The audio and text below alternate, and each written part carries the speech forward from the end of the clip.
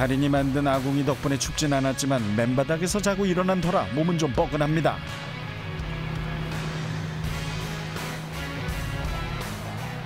네, 아 컨디션 좋습니다. 몸 풀고 눈곱 떼고 일찌감치 하루 일과 시작합니다. 생각해보니 어제부터 제대로 물 한 잔 마시질 못했는데 이 섬에서 마실 물 구할 곳이 있을라나요? 우선 안쪽으로 수증기가 맺힌 게 보이세요? 달인이 미리 설치해놓은 자동 급수 시스템. 거꾸로 꽂아놓은 우산 안쪽에 물방울들이 맺혀 있는데 이 물방울들이 모이고 모여서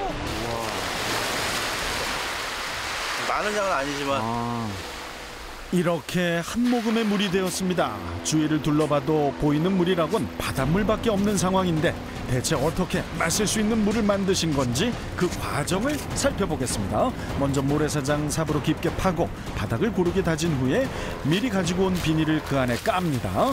그리고 여기에다 물을 부어주는데요. 물론 지금 들어가는 물은 마실 수 있는 물은 아닐 겁니다. 바닷물이죠? 네, 바닷물. 1단계 작업이 끝나면 이제 남은 일은 마실 수 있는 물이 담길 통과. 정수 작업의 핵심 장치인 우산.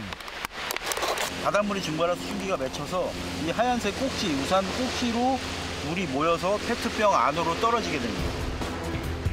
아하 우산의 꼭지는 수증기를 한 대로 모이게 해주는 점이 되는 거고요.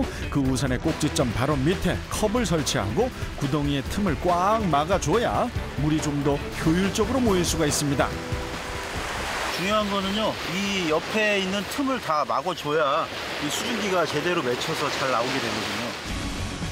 컵라면 먹을 때 생각해보면 뜨거운 물을 붓고 뚜껑을 잘 닫아줘야 뚜껑에 물이 맺히는 것처럼 우산의 벌어진 틈을 완벽히 막아줘야만 좀 더 많은 물을 모을 수 있다는 거죠.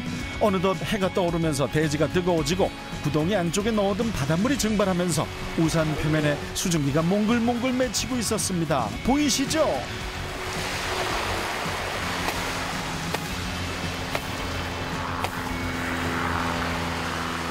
아. 보이세요? 네. 해가 쨍쨍 뜬 날은 물이 훨씬 많이 모이거든요. 이 일조량에 따라서 이 수량이 결정됩니다.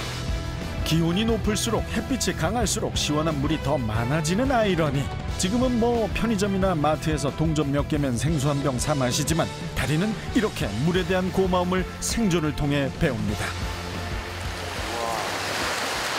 예, 그래도 아침에 목 죽이기에는 충분한 음. 양인 것 같습니다.